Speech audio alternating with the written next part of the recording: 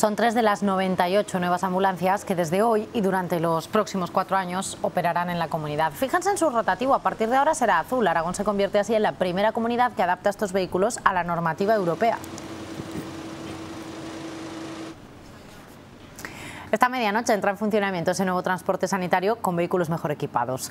Zuera y Utebo contarán con una ambulancia propia cada uno y en enero se incorporan otras dos para las comarcas de Sobrarbe y Ribagorza. Además, 18 ambulancias convencionales pasarán a ser soportes vitales básicos, UBIs móviles.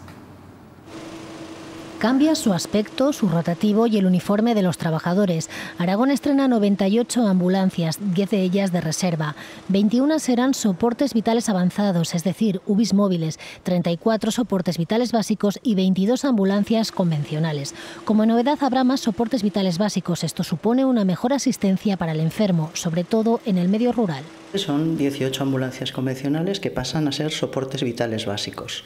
Eso significa que la dotación tanto de material como de medicación es distinta y permite que un personal sanitario, tanto médicos como enfermeros de los centros de salud, utilicen esos, esos soportes para prestar asistencia en ruta si caso de que fuera necesario. Para este nuevo contrato se destinan 77 millones de euros, un incremento del 30% respecto al contrato anterior.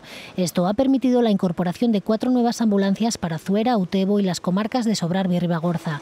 Y a eso se suma la mejora del servicio presencial los fines de semana en nueve localidades.